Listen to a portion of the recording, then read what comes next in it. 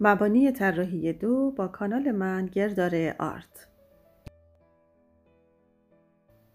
آموزش امروز ما طراحی از ابرو هست با اصول اندازه های طلایی و ابعاد طلایی که در ابتدا یک خط به اندازه 6 سانتی متر روی کاغذ کشیدم و قبل از اون می‌خوام در مورد تناسبات طلایی و عدد فی یا همون فیبوناچی کمی توضیح بدم. که البته این توضیحات بی ارتباط به آموزش امروز ما نیست. به این شکل که شما اگه یک مربعی داشته باشید در ابعاد یک اندازه در واقع از لای یک اندازه که همون با آ نشون میدیم ولی من اینجا دو سانت دو سانت می‌کشم و زل پایین رو به دو قسمت مساوی تقسیم می‌کنم یک سانت یک سانت و از مرکز این پاره خط به گوشه بالا سمت راست وصل می‌کنم و پرگار رو به اندازه اون باز می‌کنم و یک کمان می‌زنم. نقطه ای که در واقع پاره خط پایین رو قطع می‌کنه بله میشه فاصله ب که مستطیل طلایی در این اندازه ایجاد میشه و پایین آب پاره خطی هست که در واقع ما اون رو می‌خوایم اون تناسبات رو می‌خوایم روی ابرو اجرا کنیم. بله عدد فی هم طبق این فرمول هست که در تصویر می‌بینید که من وارد جزئیاتش نمی‌خوام بشم. ولی یک توضیح کوچیک دیگه این هست که در مورد این اندازه ها باید بدونید و ساختار این شکل پاره خط که در جاهای دیگه هم استفاده میشه و همون چرخش حلزونی و فیبوناچی رو در واقع ایجاد می‌کنه. شما اول مربعی به اندازه یک و یک داریم بعد دو سانت میشه بعد سه سانتی متر میشه بعد پنج سانتی متر و همینطور ادامه پیدا می‌کنه داخل همین تناسبات. شما می‌تونید تو ویکیپدیا توضیحات بیشتری رو در مورد فیبوناچی مطالعه کنید.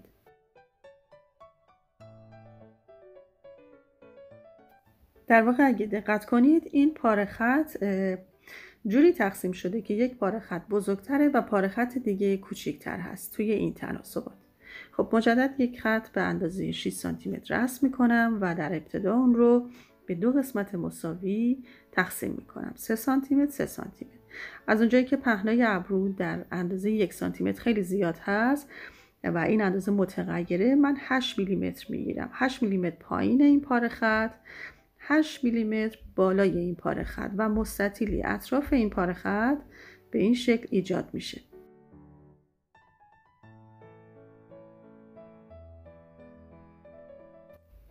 خب الان می‌خوایم همون 8 میلیمتر رو در مرکز این پاره خط جوری تقسیم بندی کنیم که یک میلیمتر پایین این پاره خط قرار می‌گیره و 7 میلیمتر بالای این پاره خط به طوری که از بالا یک میلیمتر خالی هست.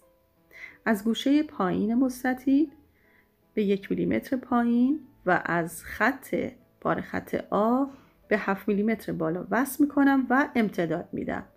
نقطه ای که زل بالای مستطیل رو قطع می‌کنه در واقع نقطه ای هست که پاره خط ما رو به تناسبات طلایی میرسونه و از اونجا محل کمان شدن ابرو و یا شکست ابرو هست که قوس پایین ابرو رو هم می‌تونم به این شکل که در تصویر می‌بینید دو میلیمتر بالا بیام که این قوس بالای پاره خط قرار بگیره. و الان همونطور که می‌بینید به راحتی شما فرم طبیعی ابرو رو در ساختار طلایی تناسبات طلایی ترسیم کردیم. روی چهره کامل طراحی ابرو رو می‌خوایم الان با همدیگه اجرا کنیم. لینک آموزش این تصویر رو هم در توضیحات قرار میدم یا بالای صفحه شما می‌تونید ببینید.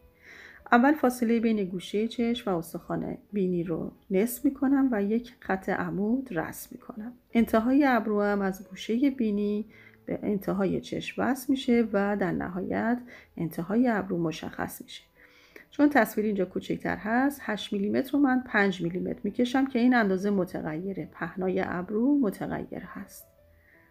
و به همین شکل روی پاره خط آ یا خط ابرو اطراف اون رو در واقع یک مستطیل رسم می‌کنم و طبق همون اندازه ها بله نقطه طلایی رو پیدا می‌کنم.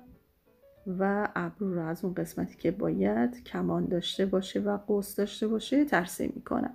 و به این شکل شما می‌تونید دو تا ابروی یک اندازه و به یه شکل داشته باشید. خب فاصله بین دو تا ابرو رو به اسم ابرو میان یا گلابلا گفته میشه که در واقع شروع ابرو هم از اون قسمت هست که بالای بینی قرار داره از بالای بینی. خب فرم های مختلف ابرو رو هم الان خیلی ساده طراحی می‌کنیم. ابرویی که داریم پرپشت می‌تونه باشه ابرو می‌تونه شکستش کمی جلوتر باشه.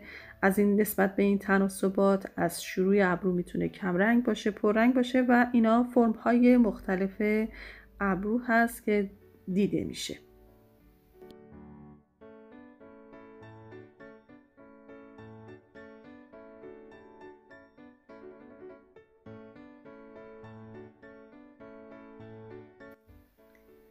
خب الان می‌خوایم ابرو رو طراحی کنیم و موهای ابرو رو یاد بگیریم. اولین کاری که می‌کنیم با یه مداد بهاش یک طرح اولیه از ابرو می‌کشیم که مسیر خطوط رو داشته باشیم. نوک مداد حتما باید تیز باشه و خطهایی که از ابتدا پررنگ انتها کمرنگ و یا خطهایی که دو سر نازک هستن رو حتما باید تمرین کنید. به شکل رفت و برگشت اگرم نمی‌تونید دو سر نازک بکشید می‌تونید مثل خطوط یک سر نازک طراحی کنید و مجدد برگردید و پایین خطها رو هم نازک کنید. مطابق تصویری که می‌بینید خطها رو روی الگوی اولیه مسیر ابرو بکشید و مداد رو می‌تونید به این شکل هم بگیرید.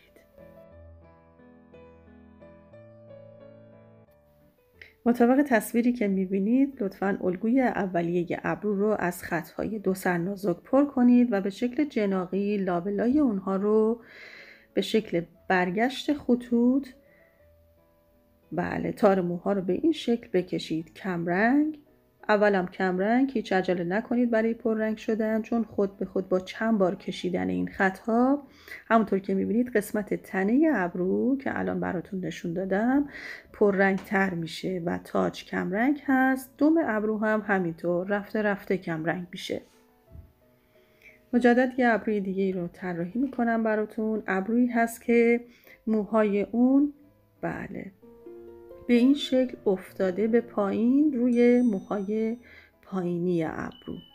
این تصویر نزدیکتر هست و تاج ابرو هم همون خطوطه فقط جهتش عمود میشه. و یک سر نازک هست تاج ابرو. لابلاش هم به شکل جناقی پر میشه. همونطور که در تصویر می‌بینید. کافیه که روی پنج کاغذ آ4 این طراحی رو تمرین کنید و به سادگی طراحی از ابرو رو هم یاد بگیرید. در ادامه فرم دیگه از ابرو رو هم براتون طراحی می‌کنم. به این شکل که تارهای مو رو به بالا هست. جهت همه تارهای مو در واقع به بالا میره.